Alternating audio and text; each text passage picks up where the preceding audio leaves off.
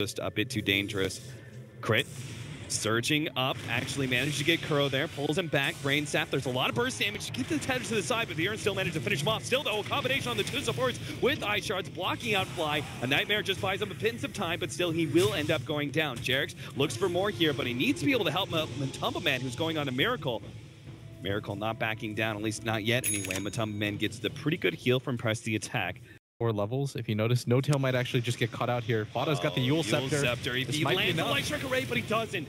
Doppelganger over to the other side of the Ice Shards. Meanwhile, bottom lane, they do have mind control. That's going to be free kill there, but Matumbaman's here. Avalanche, dodge. Matumbaman still looks for more. Toss up in the air. Gets a little bit damage on flying. FATA can probably finish him off with a Laguna Blade. But Crit actually managed to steal the Dragon Slave, running him down. FATA's going to go down to Moon. Farther up, Yep, that's F. He's going to be caught by the snowball. Ultimate, yeah, can't get it off. The Death Requiem does bring JerAx low, though. N0tail's going to be able to clean that one up, and now Matumbaman's threatened by the Ion Shell. Gets the drums. Perhaps that movement speed is enough to get him ahead. Moon can't really keep up or slow down the Tiny for N0tail to get him with a Shadow Blade in this game because uh, it feels like there's a lot more incentive for. Oh, yeah, there goes that Shadow Blade. JerAx is going to be able to get off the snowball though.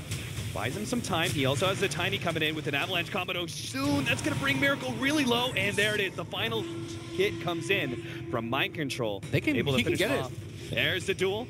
They do have a sleep. That's going to be passed around a little bit, stalling up the damage onto Moon. The Ice Shard's going to be able to block him back. The toss back. Whoa, JerAx actually really low. He can't afford that one. Snowball at the right time, but he's going to wait on top of the wall. Or maybe not. Moon's going to be run down. The Ion Shell isn't enough to finish off JerAx.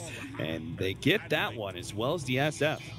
Things get a little bit difficult, but Miracle TP's out of sight. He's got that Shadow Blade Wave. He's going to be able to almost pull him onto it with one shot, but he gets off the full combination. Miracle might be the one going down, but nope.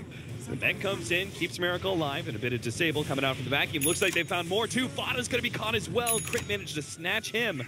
Two kills. Liquid. Time. Tier no good. Definitely going down. Phantom oh Lancer up in five seconds. All right, Tiny.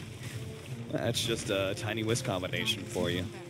Like they were a great position two seconds ago. Uh-oh, Moon is going to be caught. Matu's actually strong enough perhaps to kill Moon by himself. The relocate's going to come in from the side. We do have Fly here though with a sleep onto the Wisp. Fiend's grip on a mind control. Is there a turnaround? There's going to be more TPs in. Vacuum back into the wall. Mind control still being held in. Managed to get off the press. The attack looks for the oh, duel oh, on Moon. He can win this one too. He gets the kill just before he dies. OG. They get a two for one, but they gave away damage to the Legion Commander. Wouldn't have had it for 400 gold anyways.